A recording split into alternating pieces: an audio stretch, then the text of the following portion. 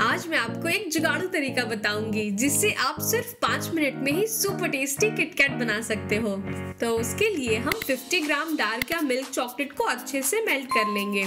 और अब एक पैकेट वोफी ले लेंगे, या फिर आप कोई सा भी चॉकलेट वेफर्स यूज़ कर सकते हो। इसे अच्छे से मेल्टेड चॉकलेट में डिप करेंगे और सिर्फ़ पाँच मिनट के लिए फ्रीजर में सेट होने के लिए रख देंगे। और बस, अब आप ये मज़ेदार जुगाड़ू चॉकलेट एंजॉय करो और फटाफट से चैनल को सब्सक्राइब कर लो।